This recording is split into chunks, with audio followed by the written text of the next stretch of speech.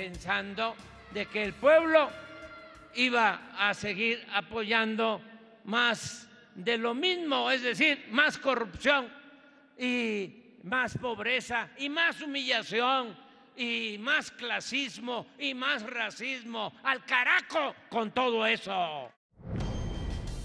Podrán decirse muchas cosas de esa de la expresión de lo que dijo hoy el presidente López Obrador, podrá decirse que fue excesiva, que es hiriente, pero pues nadie podrá afirmar que es imprecisa, porque Morena arrasó a la oposición hace 50 días.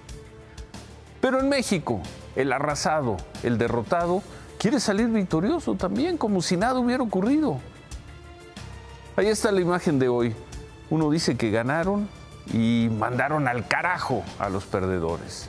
Y el otro, el perdedor, hace como que no perdió. Es más, hace como que también ganó. López, Obrador y Alito en un, pues en un viernes de lluvia, dejémoslo ahí. Se quedan con que importa. Gracias, buen fin de semana. Ánimo.